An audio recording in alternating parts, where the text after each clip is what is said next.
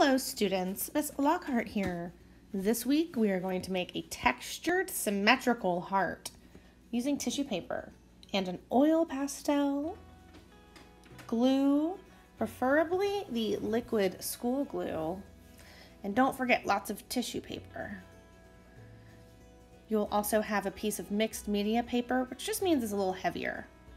And the first step is to fold it in half. Before you fold, make sure your paper is wide and not tall.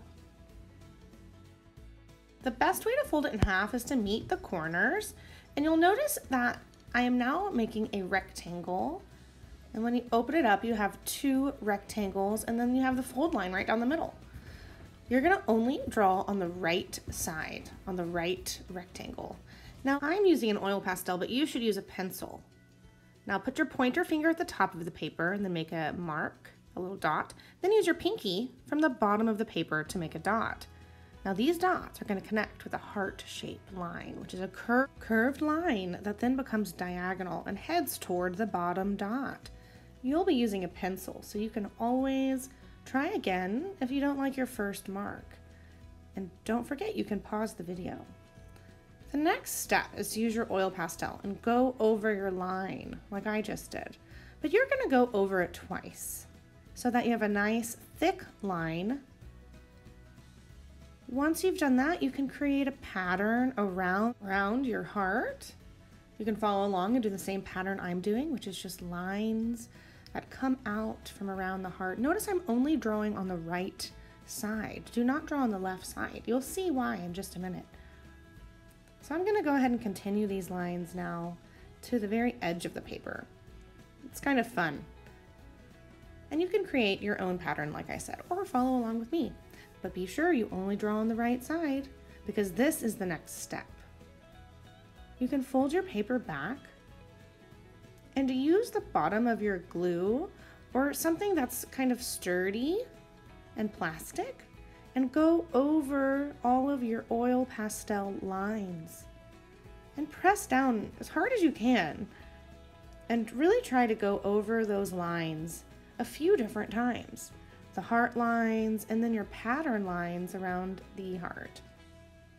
And the more you go over it, and with the harder pressure, the better the new transfer line will be. And you will see what I mean in just a moment. If you don't see your transfer line right away, you can go back over your right side again with oil pastels to make it thicker and then you can try pressing down a little harder. But you can see mine, can't you?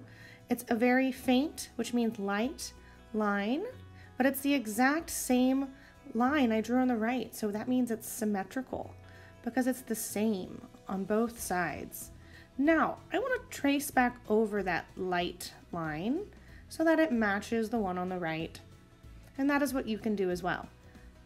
Now don't forget, if it didn't work the first time, you can always go back over the side, the right side again with your oil pastels so that it's thicker and then fold and then press the paper down again.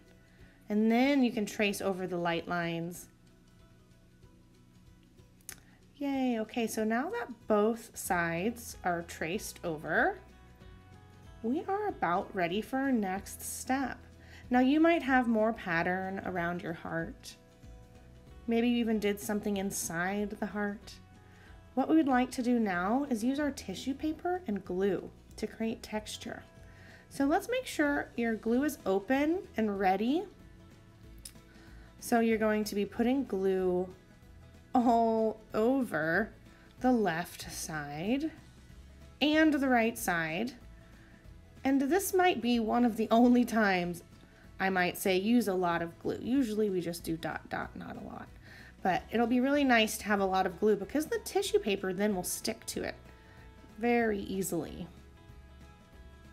It's just kind of fun to use a lot of glue. Just stay inside the heart.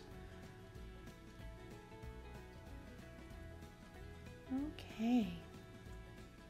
Now just how we folded the paper before to transfer the oil pastel over, we're going to fold it again to transfer the glue over. But don't leave it closed once you fold it because if you leave it closed, the glue will stick and you don't want the glue to actually stick to the other side. You just want it to move over to the other side and then look here when I open it, There I have it, lots of glue. Now, if you prefer to just glue one piece of tissue at a time, that is fine too. This is just a fun way to cover the heart with glue.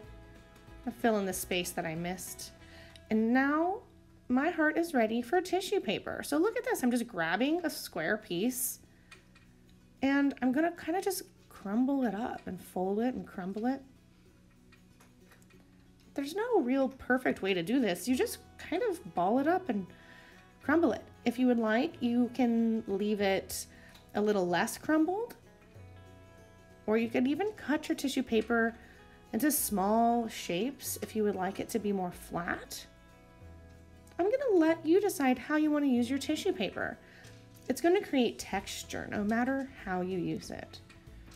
I love texture. So I'm gonna crumble these up so that my tissue paper is soft when I touch it at the end it's gonna be great. But it's not just soft, is it? It's kind of crinkly and a little bit rough. Sure is fun to make though. So continue crumbling up your tissue papers and you can arrange them however you'd like.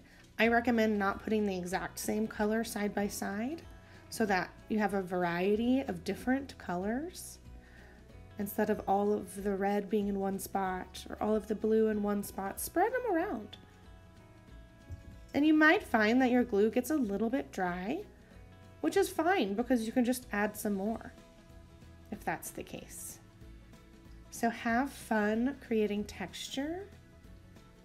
We are going to finish filling the whole inside of the heart with tissue paper. Okay, I hope you have fun and enjoy crumbling up the tissue. I think it's so much fun. And keep that tissue inside the heart. See how I just folded mine over because it kind of reached outside the heart line. Just fold it right into the heart line. And you have made a symmetrical heart with symmetrical pattern, which means the heart is the same and the pattern is the same on both sides, just like a symmetrical butterfly. Okay, everyone, thank you for following along and keep filling it in until you're done. I cannot wait to see how these turn out. And we're to spend a little bit more time on the background next class. We're to paint the background symmetrically. So stay tuned and go ahead and finish this step by filling in the heart and hold on to your artwork for next week so that we can finish it. Okay, everybody, thank you for watching. Bye now.